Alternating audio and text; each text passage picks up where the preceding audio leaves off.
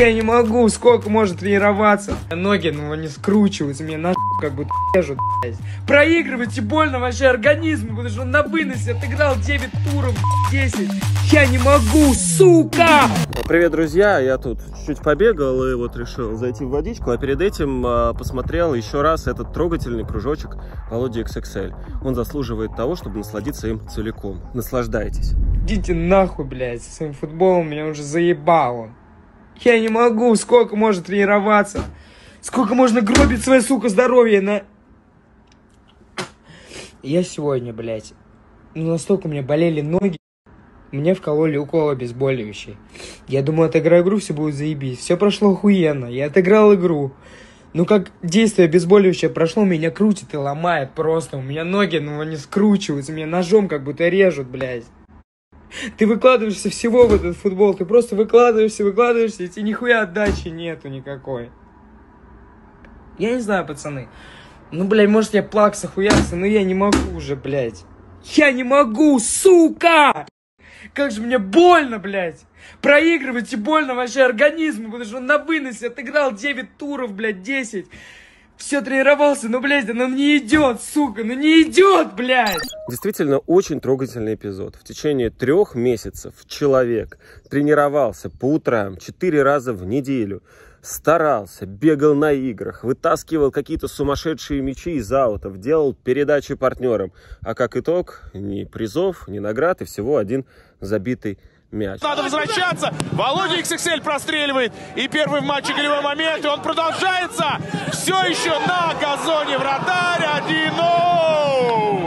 Э, находясь в таком э, положении, хочется дать Володе, да и всем э, небольшой совет. Ну а прежде чем дать его, друзья, есть еще и другие советы. Например, что ставки лучше всего делать на BetBoom. Это лучший букмекер по версии премии Спорта Россия. И чем чаще вы проходите по ссылке в закрепленном комментарии, тем лучше становится и мне, и Броукам. А я публикую свои ставки в Телеграме. Совсем скоро начнется чемпионат России. Так что давайте делать ставки вместе на BetBoom. И, как всегда, будет масса интересных предложений. Я уверен, что сохранится акция, когда вы ставите на ту или иную команду. Если она ведет с разницей в два мяча, то ставка автоматически засчитывается как выигрышная. Ну а теперь вернемся к Володе. Идите нахуй, блядь. Итак, еще раз. Володя много тренировался. Три месяца.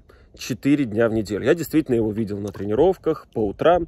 Все было нормально. Да, Володя действительно неплохо играл в течение турнира. И уж я-то, он не даст соврать, точно делал ему комплименты. И говорил, Вова, ты молодец, ты в порядке, ты очень стараешься, ты бегаешь действительно. Но призов нет, наград нет. Вылет в полуфинале, да и один забитый мяч. Это даже меньше, чем у Текилы. Причем мяч забит Володей именно в той же игре, где Текила Саня сделал хэт-трик. Бейсман ты не дал некоторым звездам поиграть. Выход один на один. Гол!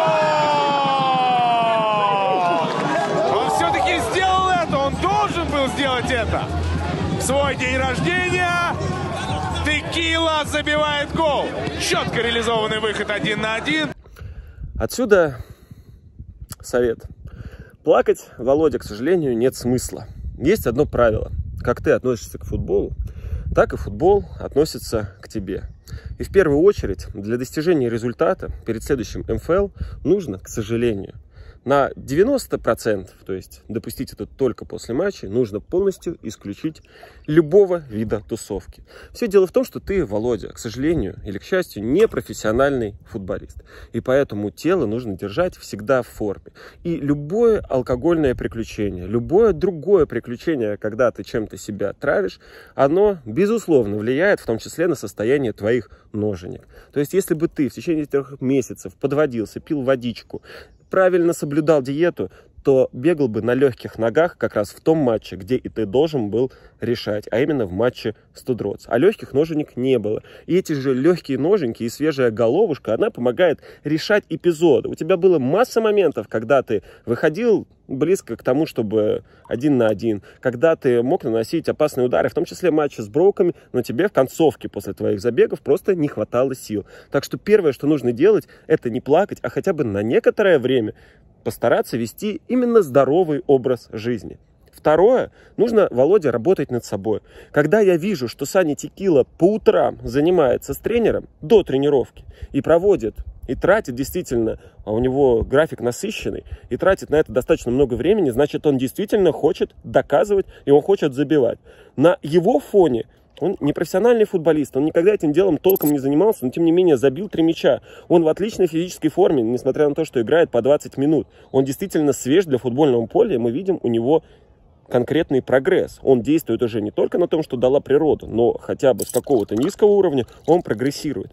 И для того, чтобы ты решал, Володя, тебе нужно, опять же, здесь дело даже не в тусовках, тебе нужно не плакать и жаловаться, а тебе нужно точно так же нанять Алекса и профессионально заниматься футболом, нанять Алекса, ходить к нему по утрам, тренировать завершение, тренировать какие-то эпизоды один в одного, тренировать масса всего. Футбол подарит тебе то, что ты даришь ему. Чем больше времени ты на него потратишь, чем лучше будет тебе. И никакие слезы и несправедливость здесь не помогут. Ты можешь выдерживать этот график с твоей фактурой, с твоей легкостью. Ты можешь выдерживать этот график трех-четырех тренировок в неделю в течение трех месяцев легчайшим образом. Просто дело в том, что ты этого не хочешь. Но и третий совет для Володи специально, он заключается в одной простой вещи. Нужно меньше выпендриваться. Все эти слова о том, что я всех порву, я всех вынесу, я всех сделаю, я там крутил, мотал тигу, я всех обыгрываю, я вас всех трахну и так далее – они никогда не идут в плюс. Эти слова никогда не идут в плюс. И в итоге все заканчивается слезами. Нужно быть скромнее и говорить уже о своих достижениях. Я сделал хэт-трик. Я забил два мяча. Я принес команде победу. Вместо этого, когда ты говоришь, что ты всех порвешь, даже в матче с Броуками ты не решаешься пробить булит. Да, ты устал, да, сводят ноги. Но где эти лидерские качества, о которых ты постоянно говоришь? Где эти мячи, которые согласно твоему гонору, должны постоянно забиваться. Где вся эта звездность и где все это геройство, о которых так сильно кричится? Сначала делай, Володя, сначала докажи, сначала покажи всем, что ты крутой, ну а потом уже можешь флексить. И, конечно, можно флексить, в том числе по прошлогоднему МКС, но три последних мяча, которые сделали э, тебя лучшим бомбардиром, они были забиты в матче совсем с не тем соперником. Так что можно, конечно, сейчас поплакать и пожаловаться, но разве можно жаловаться из-за трех месяцев тренировок, четыре раза в неделю, одноразовых всего лишь, и матчей, где уровень конкуренции – в большом количестве не соответствовал высокому уровню. Так что работай над собой, Володя. Ты еще молодой. А все заявления об ФНЛ, РПЛ и интересе, ну, оставь до того момента, когда тебя действительно туда пригласят. Это был Егоров. Я поплыл.